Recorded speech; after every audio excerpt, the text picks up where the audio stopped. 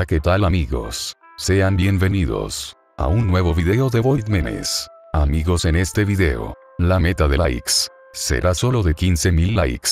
Recuerden que al alcanzar la meta de likes, subiremos la siguiente parte de Void Memes. Así que sin más que decir, comencemos. Eres un reportero. En estos meses, tu cadena de televisión te ha pedido que cubras eventos importantes de tu país, puesto que de esta manera, lograrás cubrir los créditos suficientes como para ser ascendido de puesto en la empresa. No obstante, en la actualidad, te es bastante difícil encontrar una buena nota, debido a que en tu ciudad no ocurren grandes eventos o algún desastre natural de gran relevancia. Sin embargo, un día al estar viendo noticias en Internet, te has percatado que un gran grupo de migrantes pronto llegará a una ciudad próxima a la tuya. Y piensas que podrías obtener un reportaje de este. Así que te diriges a dicha zona, y en efecto, un gran grupo de migrantes han comenzado a cruzar un río, con la intención de llegar a otro país. Rápido grábame. Así es Joaquín. Estamos aquí en la orilla de este río, y quiero mostrarte cómo es el recorrido, que estas personas realizan para llegar al otro lado. Voy a mostrarte. Aguarda un momento. ¿Dónde está mi compañero?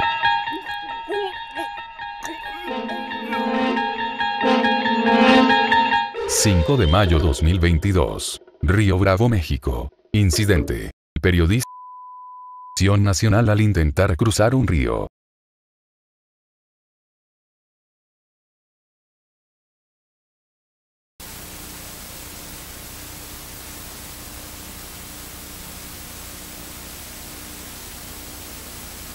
Eres un trabajador en una construcción. Debido a que tu construcción se encuentra en un sitio grande, este se ha llenado de muchos puestos ambulantes de comida. Sin embargo, uno de ellos ha destacado por encima de los demás, puesto que vende unas hamburguesas inigualables, y con un sabor único. Al probar una de las hamburguesas, quedas fascinado por el sabor. Y ahora entiendes por qué la gente compra tantas.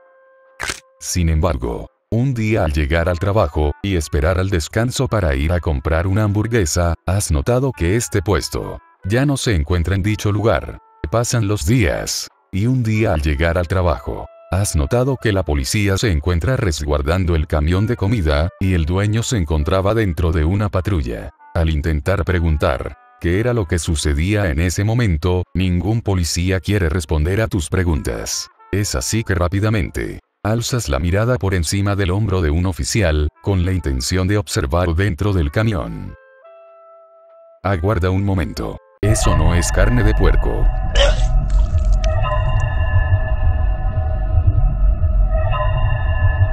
...19 de diciembre 1996... Baltimore, Maryland... Incidente... Joe Metimni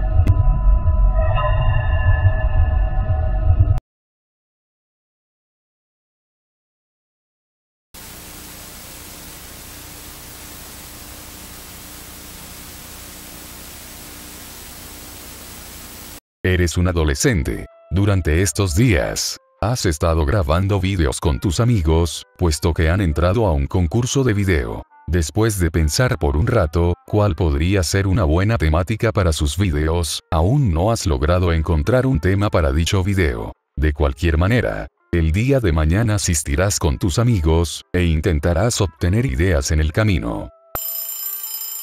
Amanece. Y sales de tu casa. En el camino, logras observar muchas cosas a través de la ventana. A pesar de todo, no logran darte inspiración. Aguarda un momento. Lo tengo. Una idea ha llegado a tu cabeza, y ahora solamente esperas a llegar con tus amigos, y preguntarles qué les parece dicha idea.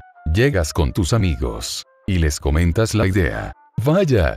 Tal parece que les agrado la idea, y al fin podremos grabarla. Espera. Vete para allá. Y grabemos desde un ángulo más salvaje. Claro. ¿Qué? ¿Qué pasó? ¿Dónde estoy? 7 de septiembre 1991. Londres, Inglaterra. Incidente. Los Backrooms.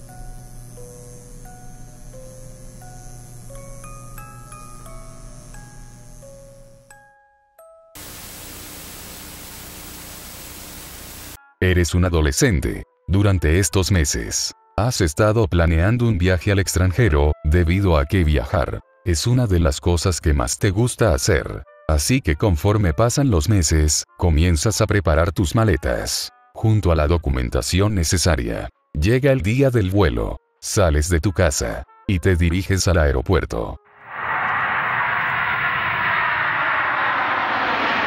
Una vez que llegas al país de destino, comienzas a turistear por la zona.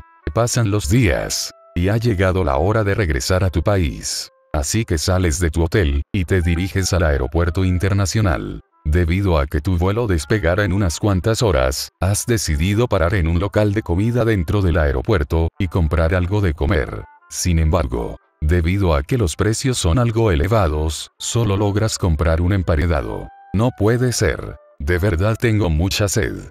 Lo que daría por un poco de agua. No me la creo.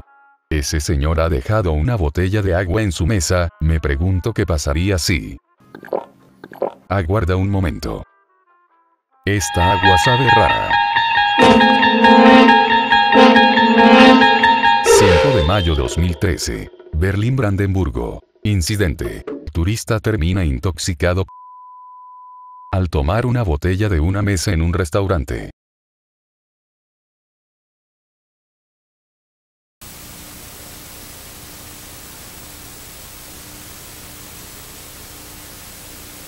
Eres un oficial del ejército. Durante muchos años, has servido en el ejército de tu país, lo cual ha propiciado a que hoy en día, tus superiores, al notar ese nacionalismo y compromiso con tu país, así como tu historial militar, hayan decidido colocarte al mando de una de las creaciones más recientes de tu país, puesto que aquella arma es una de las más modernas y sofisticadas, a diferencia de la de tus adversarios. Ha pasado el tiempo, y las tensiones entre tu país y las potencias extranjeras, no han hecho más que aumentar en estos meses. De repente, al estar realizando una rutina de inspección en tu estación, una alarma ha comenzado a sonar. Alzas la mirada, y a través del radar, Has avistado un pequeño movimiento. Repentinamente, cinco nuevos movimientos eran detectados por el radar, lo cual era una alerta de una amenaza inminente a tu territorio en los próximos minutos. Inesperadamente, una llamada era recibida por tu estación. Teniente, es el secretario general de la nación. Aquí el teniente. Teniente, nuestros enemigos han desplegado un ataque nuclear coordinado sobre nuestro territorio, y en los próximos minutos seremos impactados por seis cabezas nucleares sobre suelo nacional. Es necesario que libere las cargas nucleares con las que cuenta, debido a que su unidad necesita liderar el ataque defensivo, para poder efectuar una respuesta efectiva, mientras que aún tenemos tiempo. Te diriges a una cabina sellada en tu estación, y procedes a colocar un código en el tablero, con lo cual obtienes las llaves de lanzamiento. Regresas a tu estación e insertas las llaves en el panel de control. Sistemas activados y misiles activos. Se escuchó decir dentro de aquella estación de control. Ahora solo un botón a la espera de ser activado, era la única barrera que esperaba ser desatada, antes de un hecatombe nuclear. A pesar de ello, tu escepticismo de un verdadero ataque nuclear continuaba haciendo ecos en tu cabeza, puesto que no eras capaz de creer que este fuera un ataque total, el cual se efectuaría únicamente con seis misiles. Bruscamente, una llamada de nuevo era recibida en tu estación. Teniente, no queda más tiempo. Tiene que dar la orden de fuego. Suelte los misiles ahora. Es una orden. Lo siento, señor. No lo haré. De esa manera, habrías desobedecido a tus superiores. Debido a una corazonada tuya, un sudor frío comenzaba a oscilar toda tu frente, puesto que ahora, únicamente estabas a la espera de aquel ataque avistado por el radar, el cual, si era verdadero, aniquilaría a millones de tus compatriotas en cuestión de segundos. Y si este no lo fuera, un tribunal militar te esperaría por desobedecer órdenes del secretario del Estado Mayor. Un minuto para el impacto. Se escuchaba en todo el complejo. 30 segundos para el impacto. 10 segundos para el impacto. 5, 4, 3, 2, 1. Aquí estación Katosh. Solicito comunicación con la estación de Moscú urgente. Aquí estación de Moscú. ¿Cuál es el motivo estación Katosh? Solicito confirmación de impacto por parte de potencias beligerantes. Estación de Katosh. Creo que su información es errónea, puesto que ninguna de las estaciones aledañas ha sido blanco de impactos, y todas se encuentran operando con normalidad. De acuerdo. Ratificaré nuestra información. Muchas gracias Estación de Moscú. Una gran alegría habría comenzado a tintar tu rostro, puesto que a pesar de estar en una de las unidades más modernas de tu nación, esta habría captado un falso ataque. Más sin embargo, ahora solamente quedaba responder a tus superiores, los cuales estarían furiosos. No obstante, tu conciencia estaría tranquila, puesto que habrías evitado la muerte de millones de personas, por un error tecnológico. 1983. Unión Soviética. Incidente. Stanislav Petrov. El hombre que salvó al mundo.